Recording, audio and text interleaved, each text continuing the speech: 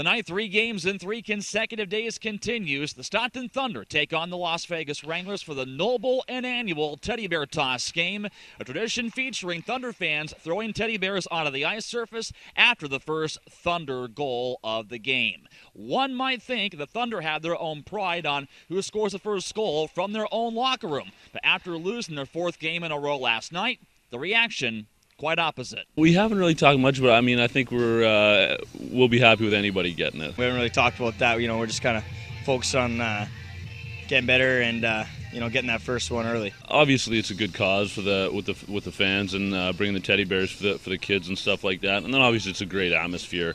Everybody's super excited and obviously want to see the first goal.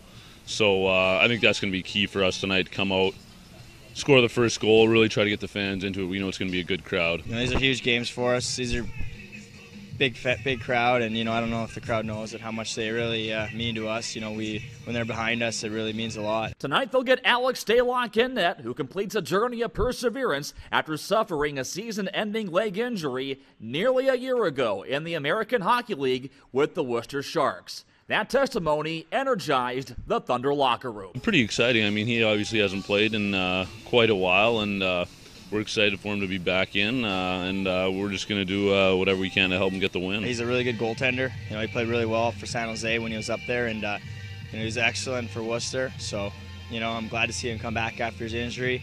Um, got a chance to be staying at my house, and he's a really nice kid, and I, uh, he's gonna be he's gonna be good tonight. It's helpful to have a, a, a solid goalie back there. I mean, we, have had uh, solid goalies all year. Wazzy and Hemer have both been phenomenal for us all year, and uh, I'm sure Al's gonna be nothing uh, nothing less. Um, I know he's got a good uh, ability to play the puck, and uh, we look forward to utilizing that as much as possible too. It's a huge boost, you know. Anytime you get new guys in the lineup, you know, uh, like Doily, uh, you know, guys coming in the lineup and they play really well and bring lots of energy, and bring lots of life, and uh, kind of stirs up the room a little bit. The Thunder now put behind a 5-4 loss to Las Vegas on Friday, but perhaps learned a lot after battling back from 3-0 and 4-2 deficits. We played hard throughout the entire game, and uh, we had a couple mental lapses. You know, I took a penalty and it started us off uh, in a bad way last last game in the first period. They got up three goals on uh, when I was in the penalty box, and you know I can't be undisciplined like that. I gotta stay focused and stay poised. We can definitely play and beat these guys. I mean,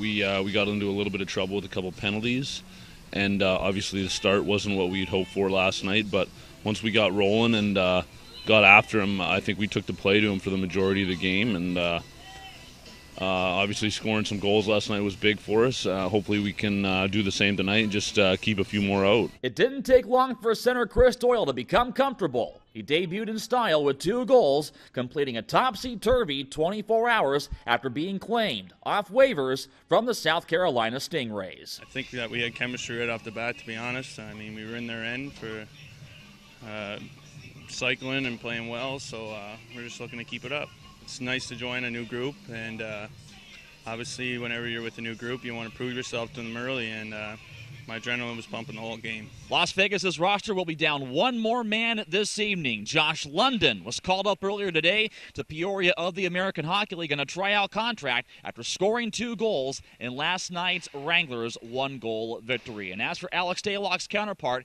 expect Joe Fallon to be in net. After all, he's their workhorse he started nine consecutive games entering this evening. From Stockton, I'm Mike Benton for Thunder Vision.